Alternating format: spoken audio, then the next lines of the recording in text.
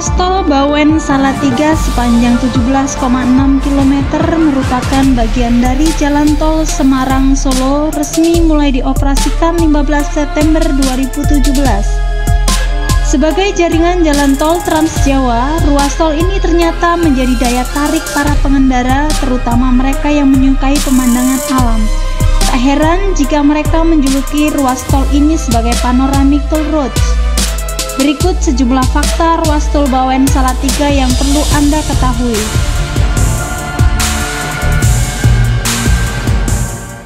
Satu, membelah hutan. Masuk ruas tol Bawen Salatiga dari arah Semarang, pengendara langsung dihadapkan pada pemandangan perbukitan yang ada di sisi kiri dan kanan jalan tol.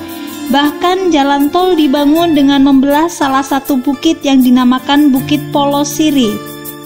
Melintas di Bukit Polosiri ini, pemandangan tanah bukit yang menjulang tinggi menjadi daya tarik tersendiri.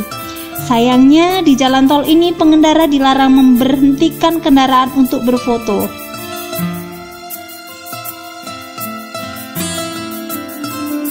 Dua, disuguhi pemandangan Gunung Merbabu. Menjelang gerbang tol keluar Salatiga, pengendara mengakhiri perjalanannya di tol Bawen Salatiga ini dengan disajikan pemandangan langsung Gunung Merbabu yang seperti lukisan. Dengan adanya pemandangan Gunung Merbabu di pintu keluar tol ini, diklaim menjadi gerbang tol Salatiga menjadi salah satu yang terindah di dunia, menyamai pemandangan jalan tol yang ada di Swiss. Selain itu, Gunung Merbabu, Tol Bawen Salatiga dikelilingi tiga gunung lain yang menawarkan panorama indah alami. Gunung-gunung tersebut adalah Sumbing, Merapi, dan Sindoro.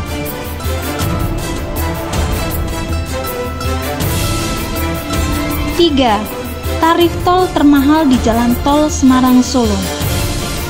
Setelah jalan tol ini resmi dioperasikan, tarif yang diterapkan untuk golongan 1 adalah Rp17.500 Besaran tarif untuk ruas tol Bawen Salatiga seksi 3 ini dihitung berdasarkan nilai investasi yang dikeluarkan dalam pembangunannya.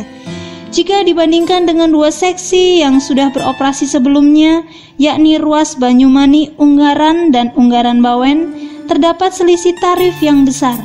Hal ini disebabkan nilai investasi untuk pembangunan jalan tol seksi 3 ini lebih besar ketimbang nilai investasi pembangunan seksi 1 dan seksi 2.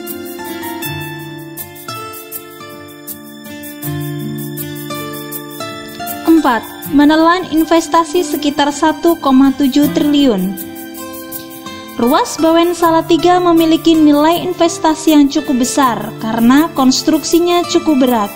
Membelah bukit dan membuat jembatan di antara lembah, ada yang harus digali dan harus ditimbun dan sebagainya. Khusus untuk ruas Bawen Salatiga yang panjangnya 17,6 km kira-kira telah menyerap anggaran sekitar 1,7 triliun rupiah sendiri.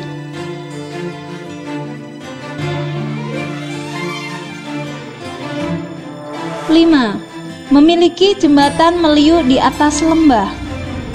Di tengah perbukitan, pengendara kembali disuguhi pemandangan di atas jembatan tuntang yang membentang sepanjang 370 meter dengan tiang penyangga ganda yang tinggi tertanam di lembah.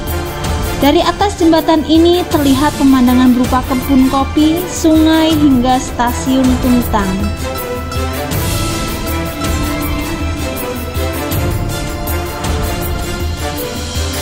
Enam, melihat matahari terbit.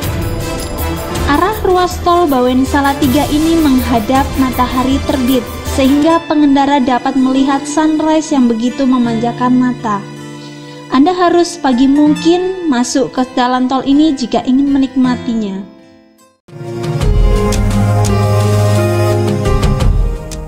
Di balik indahnya tol Bawen Salatiga, ternyata harus dilakukan pengerjaan konstruksi yang tidak mudah.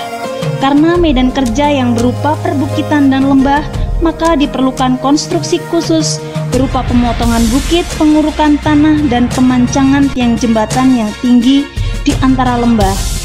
Namun demikian, setelah semua proses tersebut selesai, maka para pengendara yang melewati jalan tol ini akan mengalami perjalanan yang berkesan karena disuguhi pemandangan yang indah dan alam yang asri. Pembangunan jembatan Kali Tuntang sepanjang 310 meter di ruas jalan Tol Bawen Salatiga di kilometer 37,6 Desa Kandangan Kecamatan Bawen Kabupaten Semarang Provinsi Jawa Tengah adalah yang paling berat. Bukit sepanjang kurang lebih 500 meter dan setinggi 50 meter memerlukan pemotongan dan membawa tanah jutaan kubik hasil pemotongan bukit tersebut menuju tempat yang lain.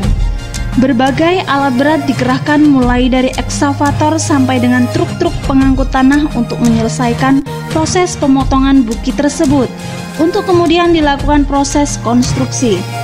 Pembuatan tiang-tiang jembatan juga harus dilakukan di lembah kali tuntang yang tidak mudah dilakukan.